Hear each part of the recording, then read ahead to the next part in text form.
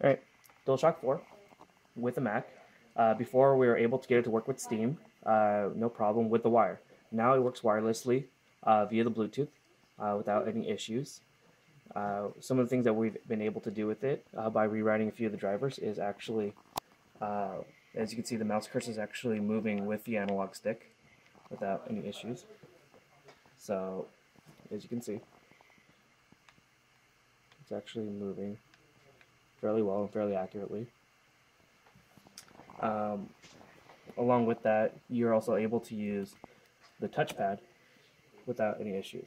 So if you just hover over it, you can actually just click on your favorite article with the touchpad and it works just fine.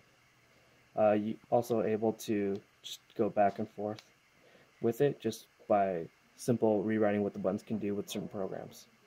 And that's it. Uh, I'm working on some other things that you can do with this in terms of uh, page scrolling up and down uh, with the right analog and also uh, cutting and pasting with certain buttons. Uh, I will release the actual driver for Mac fairly soon as soon as I got it narrowed down.